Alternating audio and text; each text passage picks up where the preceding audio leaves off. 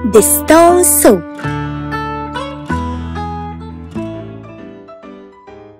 This is the story of Jim and the stone soup.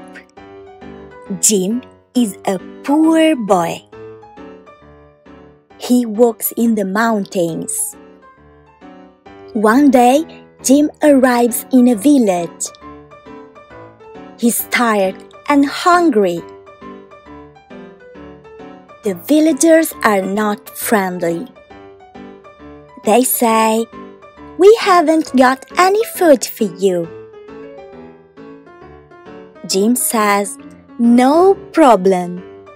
I can make my delicious stone soup. The villagers say, Stone soup? It's disgusting. Jim prepares a fire. He puts water in his big pot. He puts the pot on the fire. Then he throws a stone into the water. The villagers are curious. They look at him without saying a word. Jim tastes the soup and says, It's good, but it's not perfect.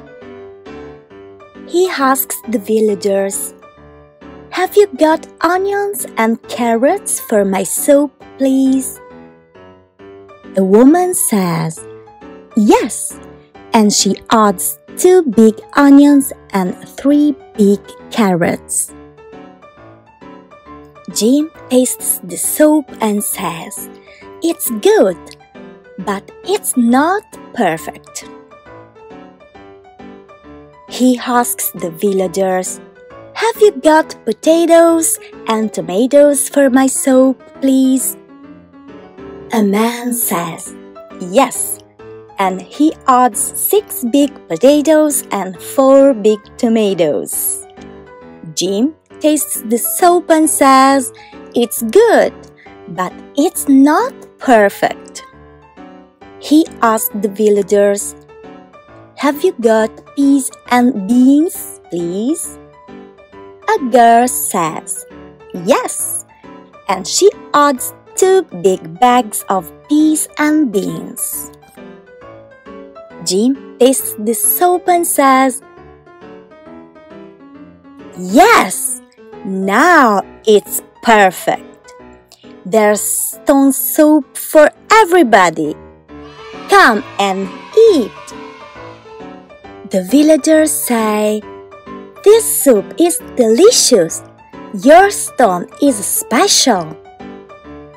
Jim says, It's just a normal stone.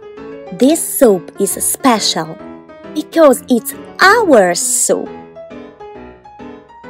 Sharing is the answer.